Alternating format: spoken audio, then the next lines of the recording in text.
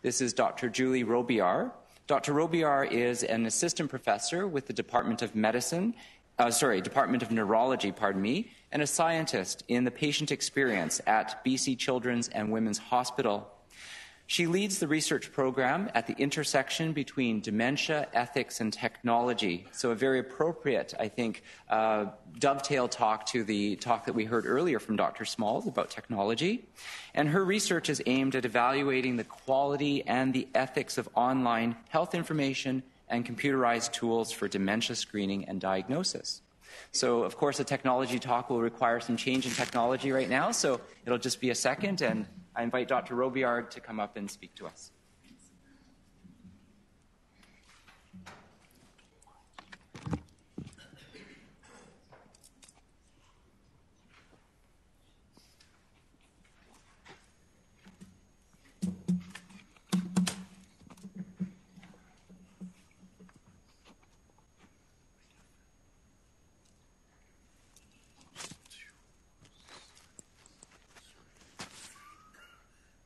Okay. Okay. Can you hear me? Is this working? Excellent. Okay. So, thank you for the opportunity to uh, come and tell you a little bit about the work that we're doing in technology. Uh, and I've entitled my talk Technology Coming to a Clinical Trial Near You, but it already has, as we saw earlier this morning from Brienne. Uh, we're already using pretty fancy technology to uh, do a whole range of research. So there's a number of ways in which technology can help as we research dementia. We can have help from technology for recruitment through things like online platforms, registries, or social media. We increasingly have technology enabled tools for screening and diagnosis, and I'll talk a little bit about that in just a minute. Sometimes technology can be the intervention itself. Uh, we can use assistive technology as uh, remembering aids, um, as Dr. Small mentioned earlier. Um, we're looking into robotics uh, moving forward and things like that. Technology can be used to measure the effectiveness of an intervention. So we can think, for example, of home-based sensor systems that will be able to uh, determine your emotional state and your cognitive state.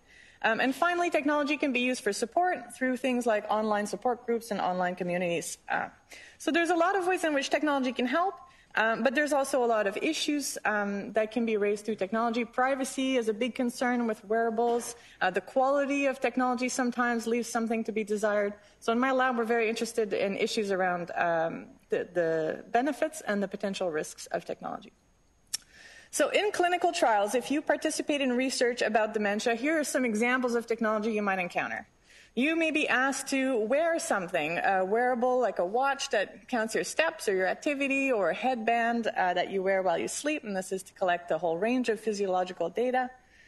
You may uh, encounter tools that are used for passive data collection, so instruments that are installed on your computers or your tablets or your phones uh, that just collect information about you. And we're getting a lot better at learning about individuals through things like how fast they type, uh, I'm part of a company that designs a, a little gizmo that tells uh, researchers where you're looking on a screen. And all these measures by themselves can be uh, not that informative, but when we group them together, we can know quite a bit about, uh, about someone's state, someone's cognitive abilities uh, through really simple metrics like that.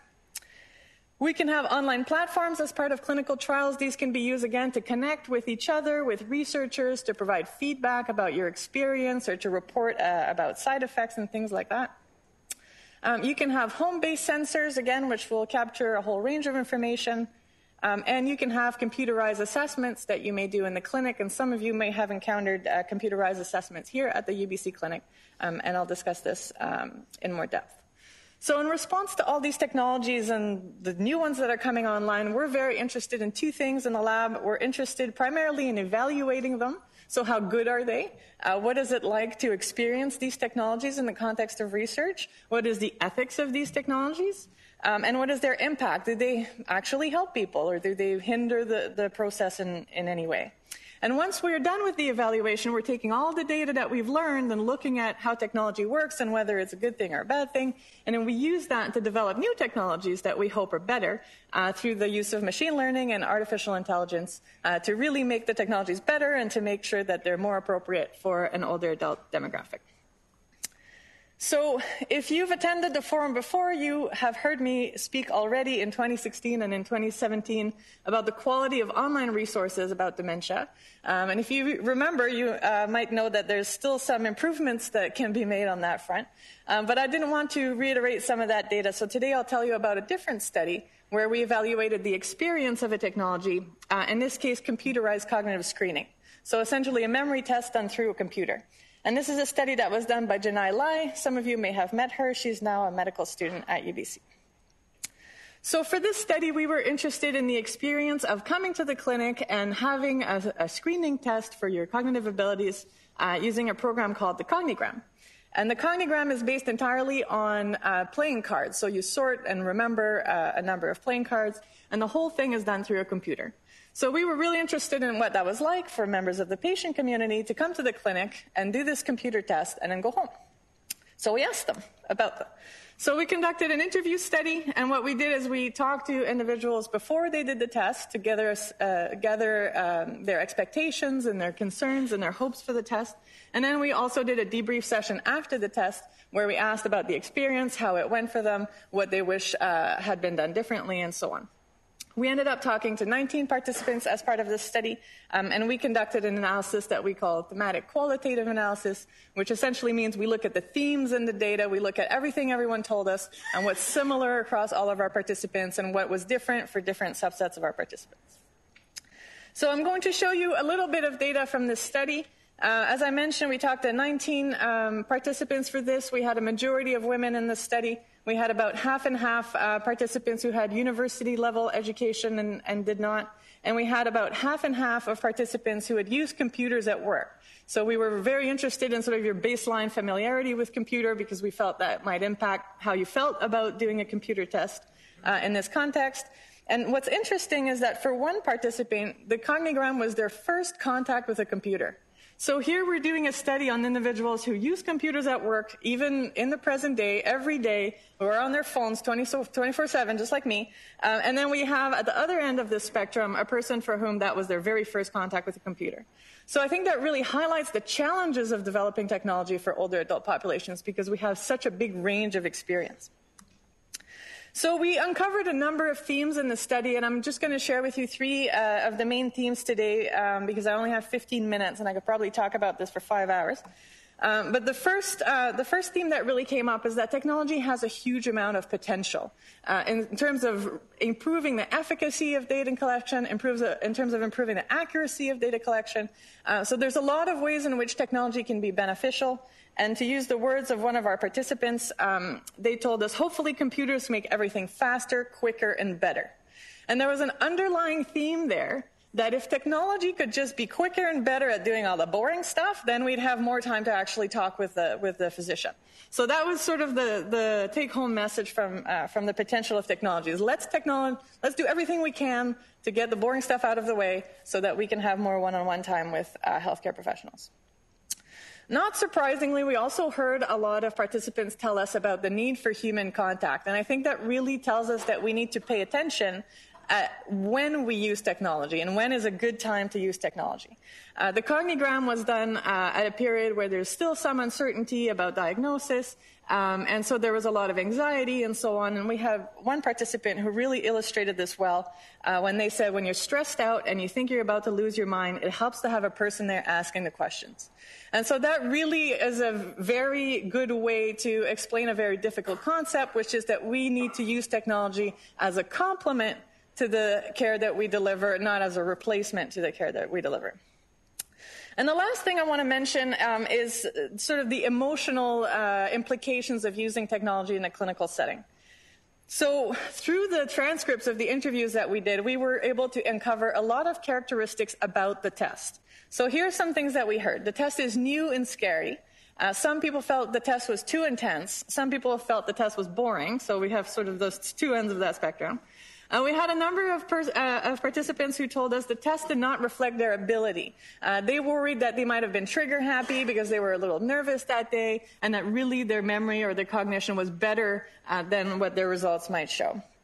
And then we also had a range of participants tell us that the test utility was unclear. So they were not 100% convinced that the test could actually do uh, what it is that it said it would do.